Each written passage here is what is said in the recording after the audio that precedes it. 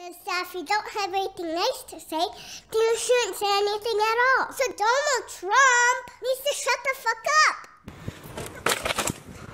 Are you sure about that? Yo, listen up! Trump, We're sick of hearing your offensive words. that are racist, sexist, Homophobic. and bullying bullshit.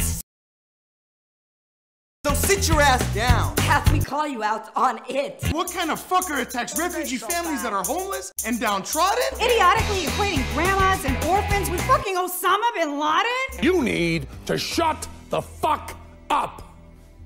Living proof that misogyny is alive and well. Today, I'm unboxing the 2016 election. Hey, I'm Dylan Marron, and I'm back to unbox another intangible ideology. So this week, we've got an item that has received unanimously awful reviews, but we still have to buy it if we care about avoiding the apocalypse. Ah!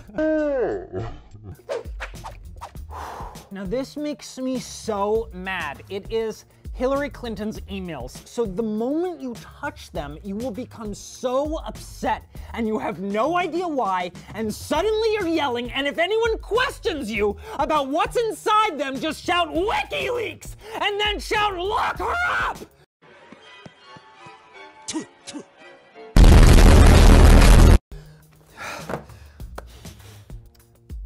Aww. It's a basket of deplorables. Offset hatred and white supremacy by giving it an adorable name.